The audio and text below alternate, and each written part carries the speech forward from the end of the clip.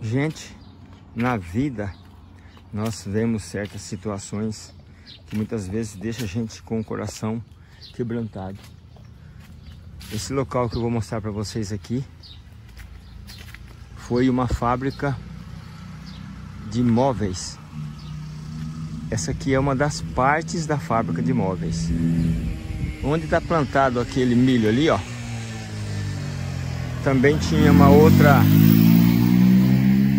parte da mesma fábrica. E depois daquele muro ali, tinha mais uma parte dela. E nessa época, eu era motorista de caminhão, estava desempregado, aí me chamaram para fazer um teste. E o dono sempre foi muito exigente, sempre foi uma pessoa muito exigente. E no dia que ele me convidou para fazer o teste, eu peguei o caminhãozinho dele, na época era uma F4000, para buscar o um material numa cidade próxima daqui, que é Presidente Prudente. E fui buscar esse material junto com ele. E ali eu passei no teste. E comecei a trabalhar, sustentar minha família. Eu não me lembro se essa parte aqui era a parte das cadeiras e cama de casal e a parte depois daquele muro lá era berço e cama de solteiro. Alguma coisa assim, eu não lembro agora. Esse, esse lugarzinho aqui era onde ficava o guarda. Aqui era onde entrava os caminhões para carregar. Mas eu estou sentindo falta de mais uma parte. Eu vou até, ali na frente para me ver se porventura a outra parte que eu estou pensando dá a entender que depois desse muro aqui era outra parte. Deixa eu ir ali. Bom, o que ocorre? Uma das viagens que eu fiz até São Paulo, região ali de Campinas, Americana, eu acabei conhecendo a cidade de Limeira.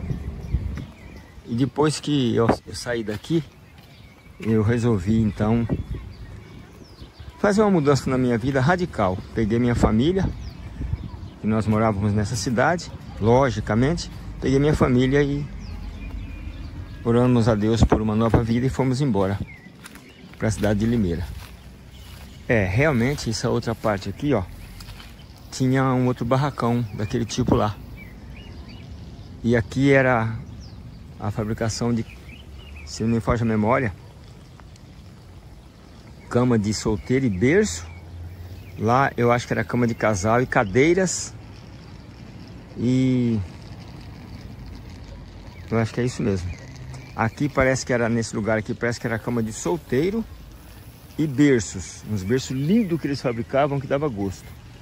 E lá, cadeiras e cama de casal. Era algo assim.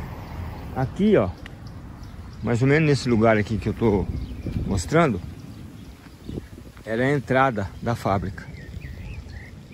Esses pés de árvores aqui eram bem pequenos. Na época eles foram plantados. Isso aqui era um, um, uma empresa que tinha, eu acho que 150 funcionários, coisa nessa linha.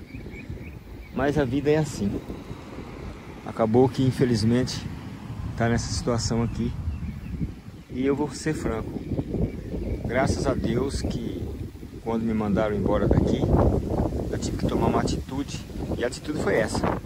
Literalmente ir embora da cidade. Foi a melhor coisa que eu fiz, sabe? Não me arrependo não. Pois é. Eu só peço a Deus que abençoe aqueles com os quais eu trabalhei e dê graças, porque a vida continua.